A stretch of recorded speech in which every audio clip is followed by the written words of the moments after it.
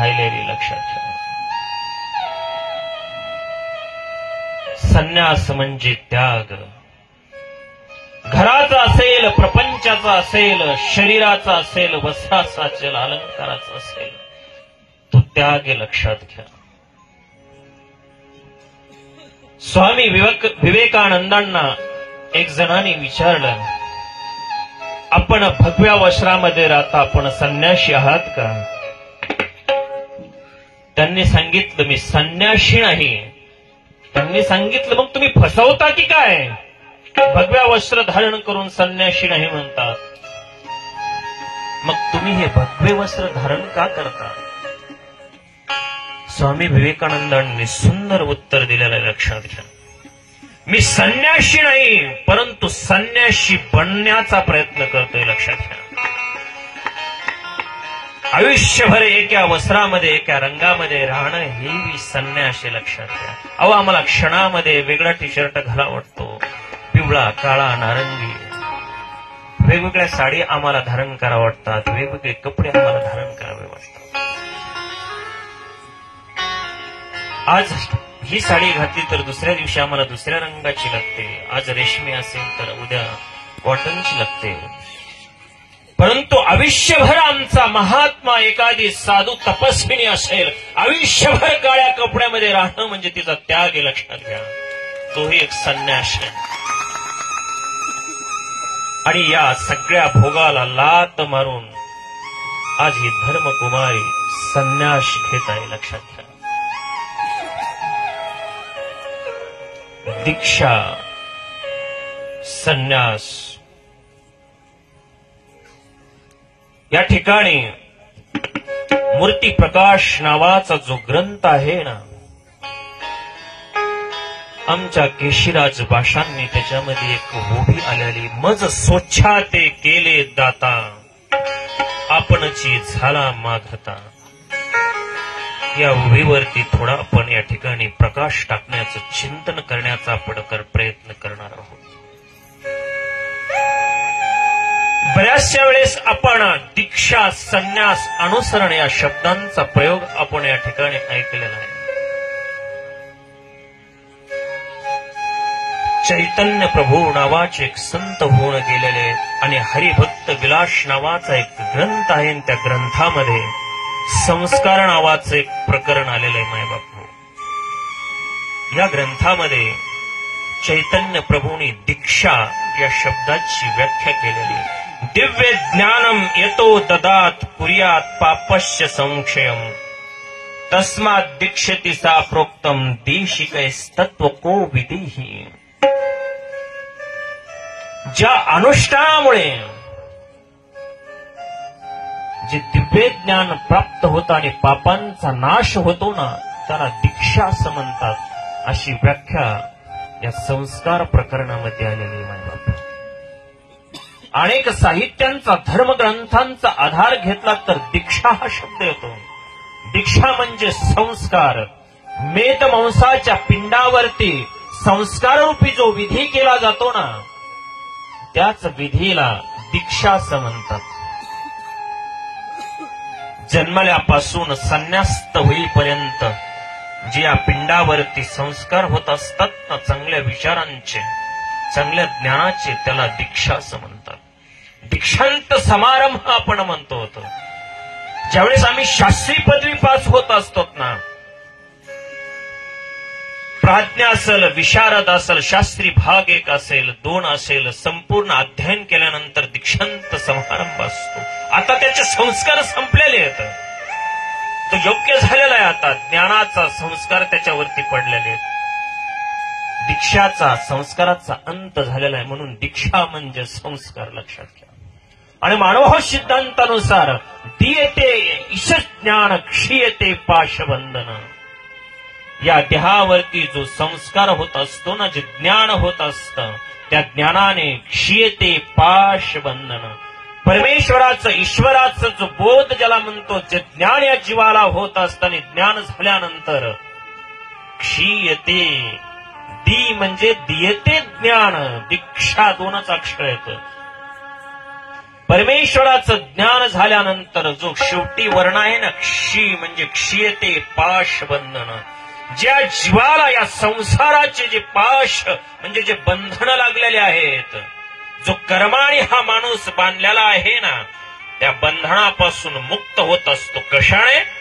परमेश्वराचं ईश्वराचं ज्ञान झाल्यानंतर म्हणून म्हटलेलं आहे की दियते ईशश ज्ञान आणि क्षीयते पाश बंधन म्हणून तो दीक्षा शब्द तयार झाला लक्षात घ्या.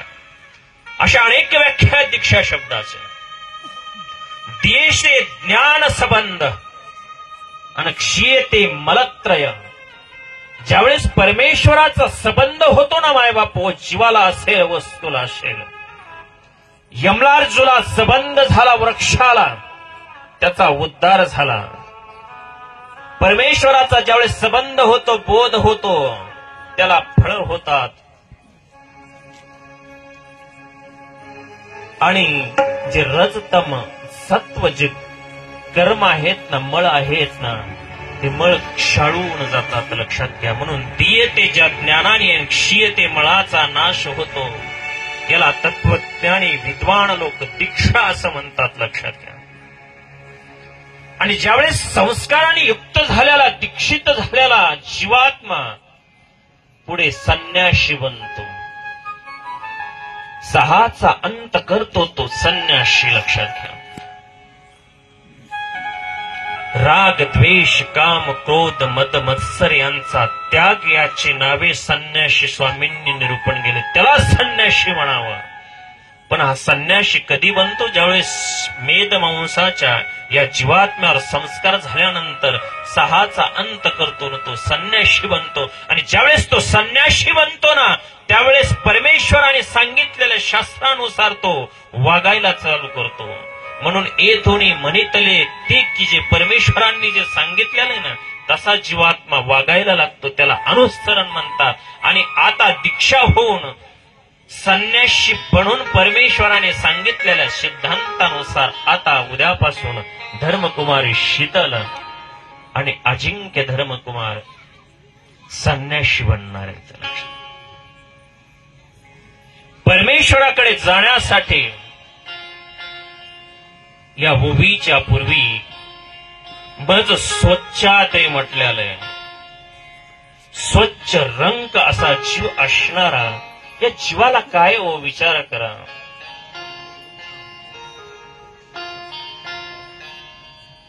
गरीब दुबळा हीन असणारा जीवे आपण म्हणतो त्रैलोकी धनवंत मी. तुझ्याजवळ काय माणसं?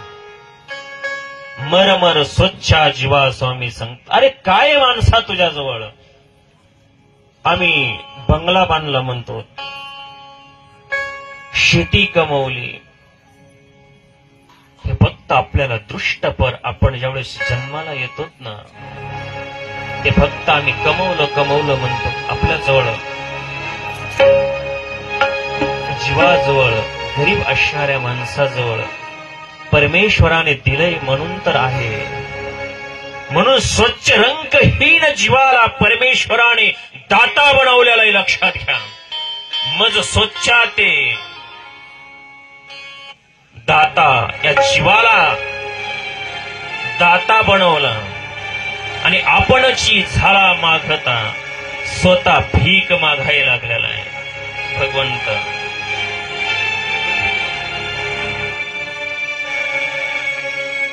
स्वतः अनंत ब्रह्मांडाचा नायक आहे. आणि दारोदारी काय करतोय? की भिक्षा मागण्याचं काम करतोय लक्षात घ्या. त्याला माणसाची गरज आहे. एक दान मागतोय. तुला धन संपत्ती मी दिली ना माणसा. परमेश्वराकडे येण्याचे अनेक रस्ते. माणूस द्या मज माणूस द्या.